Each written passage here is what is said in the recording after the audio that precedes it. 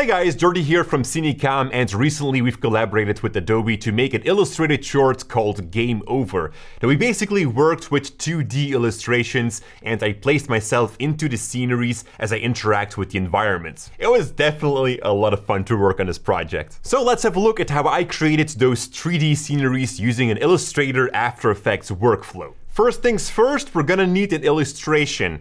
For the last scene, I was looking for a lava cave, so I came across a perfect scene on Adobe Stock. Very important is that you look for a vector illustration, as we're gonna need to work with the different layers, so JPEGs are not gonna work. Once downloaded, we can start with Illustrator. And what you want to do is place every group of elements together in a separate layer. Once we're to bring this inside After Effects, the same layers and the naming will appear back. Now, what if you don't have these layers yet? For instance, I also downloaded a dragon for within the lava cave. Unfortunately, this one is not layered. Now, most vector illustrations have their elements grouped together, and this allows us to easily move an entire group. However, I don't need that as I'm going to make some adjustments. In the layers menu, when we expand the first layer, you'll find a group. This indicates that everything is grouped together. You can now also have multiple groups or even groups within groups. Now for now, I'm just going to right click on my image and choose ungroup. I can now select every element separate, which makes it a little bit easier for me.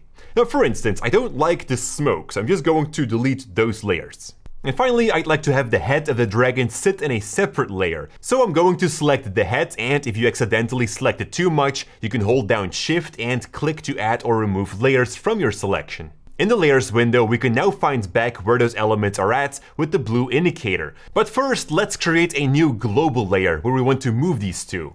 Click on the plus icon at the bottom of the window to create a new layer, and I'm going to rename this one to Head. Then select all of those head layers. When selecting the first one, you can hold down shift to click on the last one in a row to select the entire row.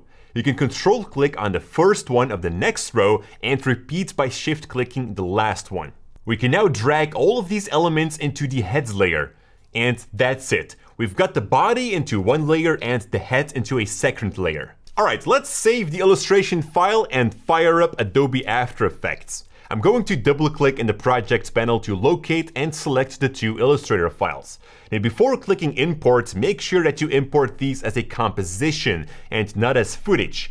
Now I like to avoid retaining layer sizes as that will misplace the layers and you're going to have to reposition them again. Once imported, you'll find a new composition that is created for each illustration file and a folder with the dedicated layers. When opening one of these in a composition, you'll see that we've got every layer to work with.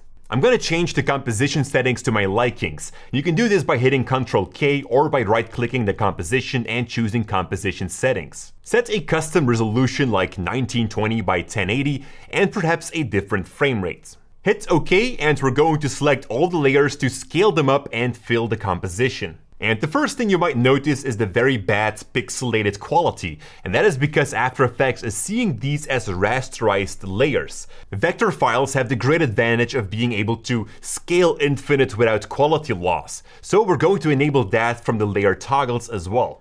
And there we go! We've got our illustration file inside After Effects, and we can now start working on every layer separately. Now if there's anything that you'd like to change inside the Illustrator file, then you're always able to do that. So switching back to Illustrator, I'm going to change the highlight color of the wall in the back. Now let's make it glow more and pick a very saturated red.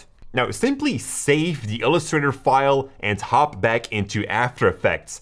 And that's it it's automatically updated. So as I was working on Game Over, I always had the two programs open as I would swap back and forward between the two.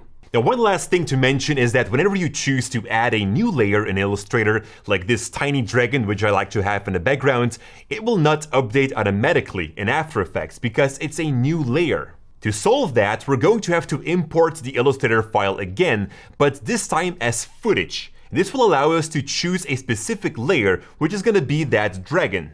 We can now go ahead and move this new layer into the composition as well. And this is the workflow between Adobe Illustrator and Adobe After Effects. You can check out my animated short and more tutorials through a playlist in the description down below. Thank you so much for watching and as always, stay creative.